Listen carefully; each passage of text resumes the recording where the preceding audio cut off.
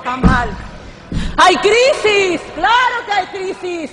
Hay desempleo, claro que hay desempleo. Y hace poco ha subido el paro. Y los que tienen trabajo tienen miedo a que los echen fuera. Una patada en el culo y hasta la luna. Adiós, pampa mía. Todo está mal. Todo es una puta mierda. El aire que respiramos cada día está más contaminado y los alimentos que ingerimos cada vez más malos. Todo está mal. Todo está mal. La delincuencia. Todos los días un caso de delincuentes. Delincuentes de cuello y corbata. Delincuentes que se atrincheran en los parlamentos y se encierran en sus putas sedes políticas. Todo está mal. Y lo peor de todo es que no hay solución. No hacemos nada porque estamos acostumbrados a decir que todo está mal. Nos atrincheramos en nuestras casas, en nuestros pisos y decimos afuera mundo, iros con vuestros jodidos problemas. A mí que me importan las guerras, que me importan los desempleados, que se jodan todos. A mí, dejadme, dejadme con mis cosas, con mi televisión, mi coche, mi moto, mi iPhone, que con eso yo ya soy feliz. La dignidad se basa en la acumulación de riquezas, de cosas, cosas y cosas y cosas. Nos volvimos positivistas porque el sistema nos enseñó que la dignidad se basa en eso.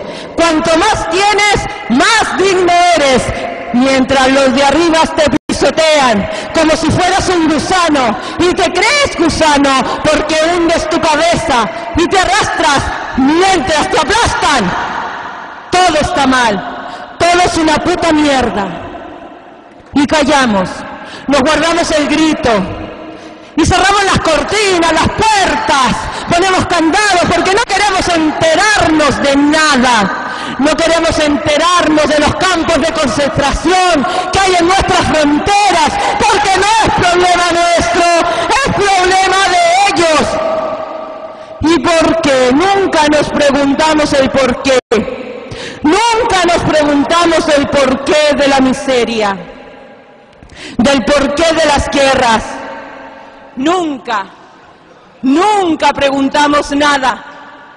Siempre nos embuimos en nuestras propias necesidades, en ese individualismo egoísta que nos aparta de la realidad. Y nos creímos en el cuento de la clase media por tener un título de técnico profesional. Y fuimos acumulando cosas olvidándonos de todo, pero nos falta aquel que por las redes sociales hace la revolución. ¡Qué bonito! Revolución 2.0. Hoy día concentración por los refugiados de Siria. ¿Dónde? En Facebook. La hostia, muy bonito, muy bonito. Hoy día así es la revolución.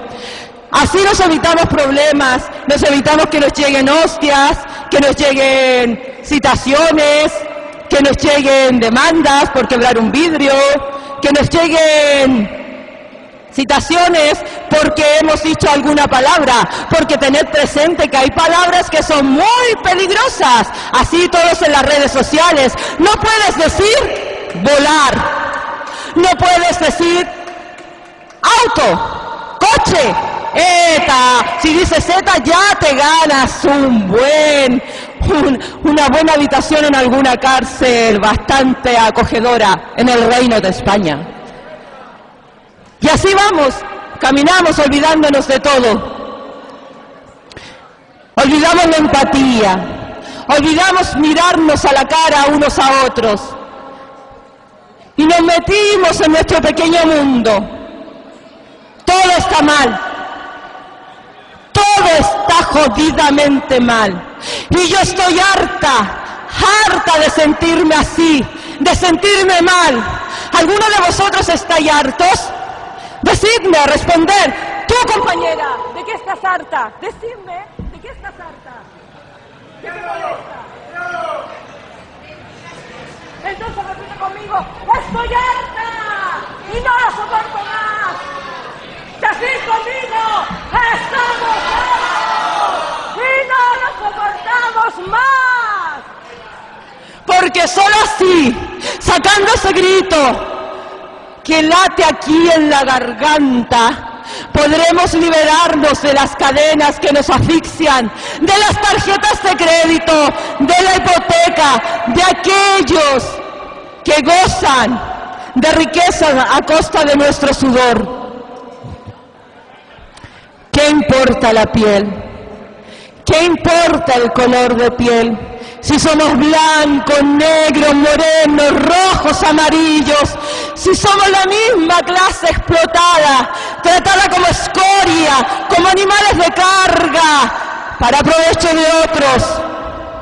Pero algún día, parias, algún día dejaremos de vender nuestros brazos y dejaremos de que dejaremos de ser camino para otros, de aquellos que caminan sobre nuestras espaldas, porque no debemos olvidar que el capitalista donde pone el ojo pone la bala.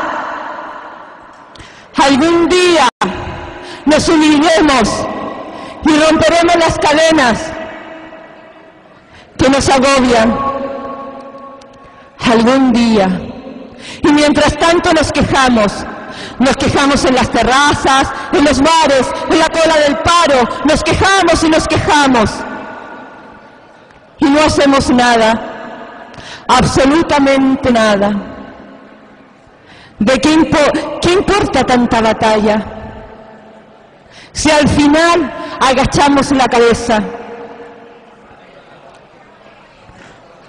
Pero yo os digo, si algo no existe, ¿no sería más fácil acaso crearlo? La solución está en crear, en luchar y no morir como gusanos arrastrados. Crear, crear aquello que es imposible para hacerlo posible. Porque os digo que un nuevo mundo es posible. Ese mundo que anima en los corazones, donde todos somos iguales. Podemos lograrlo. Si luchamos en conjunto, si perdemos el miedo y alzamos la voz, si alzamos el puño sin miedo, porque no fue hace tanto, no fue hace tanto que gritaban, ocho horas de trabajo, ocho horas de descanso, ocho horas de hacer nada, 1886, Estados Unidos, cinco mil fábricas paralizadas y miles y miles de trabajadores y trabajadoras a las calles. Y yo os recuerdo que no tenían ni internet, no sabían leer ni escribir. Vergüenza deberíamos tener. Tanta educación para qué? Para ser borregos. Borregos. A veces creo que nos merecemos toda la mierda que nos llueve sobre nuestras cabezas. Pero soy ingenua y sueño y creo que aún late dentro de nosotros aquella semilla rebelde y que hemos de agitarla fuertemente para que vuelva a arder sin miedo. Ocho horas de trabajo. ¿Y hoy cuántas horas trabajamos? No fue hace tanto, fue hace poco. Tantos que murieron, tantos que quedaron en las cunetas, en tumbas enterradas, incluso por nuestra desmemoria, porque incluso recordarnos tan miedo cuando nos debería dar vergüenza de no hacer nada, absolutamente nada.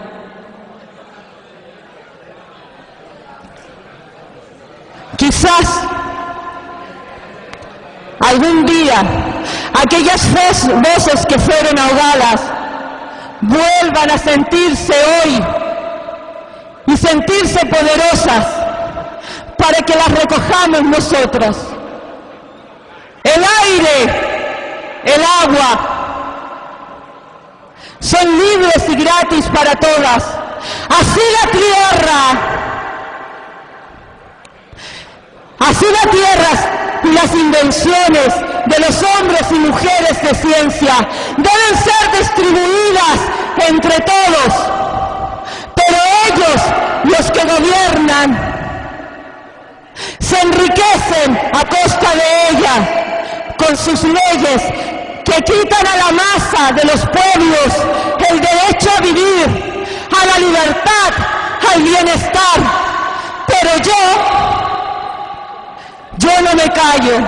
Y yo no lucho individualmente contra el, contra el capitalista. Yo lucho contra el sistema que provoca estas desigualdades y estos privilegios. Mi mayor deseo, mi más ardiente deseo, es que cada trabajador y trabajadora sepa quién es su amigo y quién es su enemigo, porque lo demás lo demás me importa un carajo. Algún día, algún día levantaremos la voz y patearemos las calles dejando nuestras huellas como las dejaron otros hace 80, hace 100 años atrás. Porque lucharemos al grito de revolución, revolución social, revolución obrera, hasta que la dignidad se haga costumbre. Salud y anarquía.